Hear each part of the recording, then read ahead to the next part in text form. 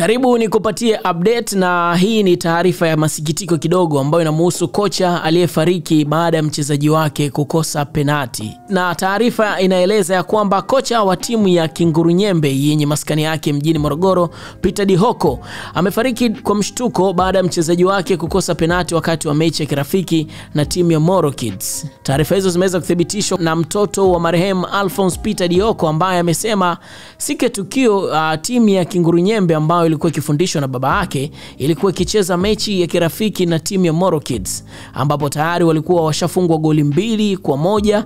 Hivyo baada ya kupata nafasi ya penati waliamini timu yao ingeweza kusawazisha, lakini mchezaji wa kinguru nyembe aliweza kukosa penati hiyo, ndipo baba yake akaanguka ghafla kwa mshtuko.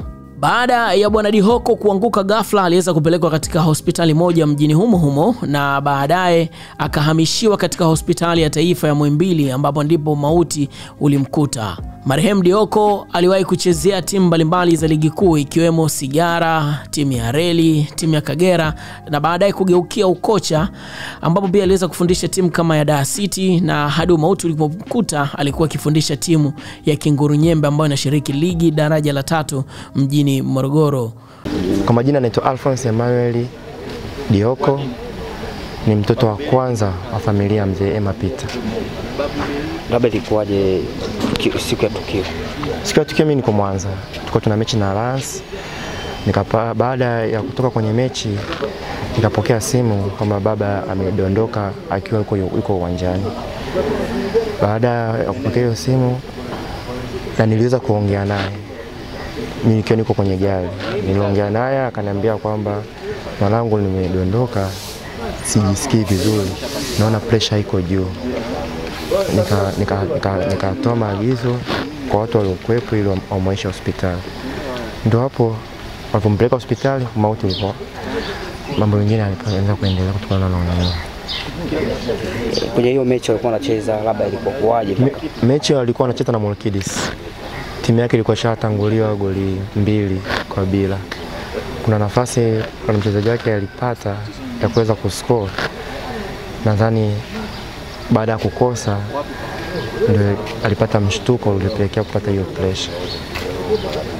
Maana baada ya hapo hakuweza tena kuwepo kudumu katika ule mchezo kwa sababu pressure ilikuwa iko juu sana.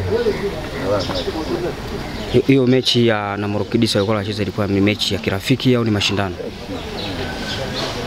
Mm, Kiukweli hapo ilikuwa ni mechi ni mechi ya kirafiki, ilikuwa ni mechi ya kirafiki, na yeye tokea achukue hiyo timu hakujawahi kupoteza katika mechi zake zote.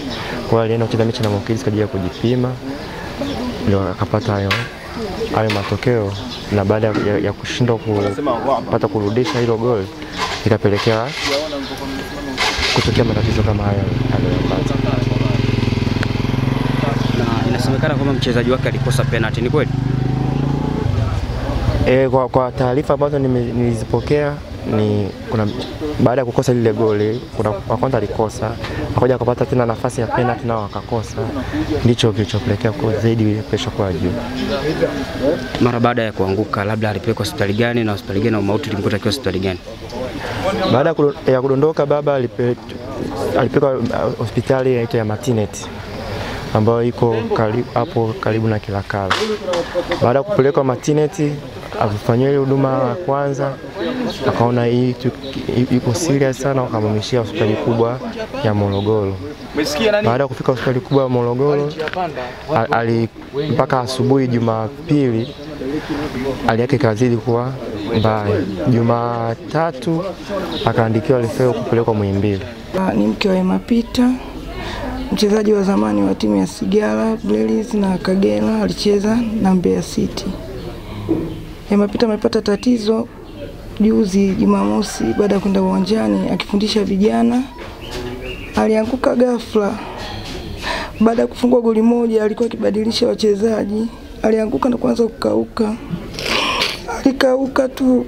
Baba Roja aliletwa hapa na vijana wake ni nikamchukua nikampeleka hospitali ya mkoa, hospitali ya mkoa akatibiwa, lakini ikashindikana.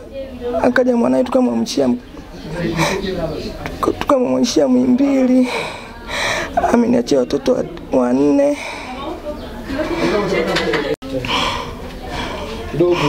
Nashukuru, namwombea mwenzangu apumzike kwa amani, Mungu ampokee. Hakuwa na ubaya na mtu, hakuna semjua imapita, kila mtu anamjua imapita. Kwa hiyo nashukuru jamani, nimepata pigo miaka thelathini na nane niko naye mme wangu. Kwa hiyo jamani, ni hayo ni hayo mama.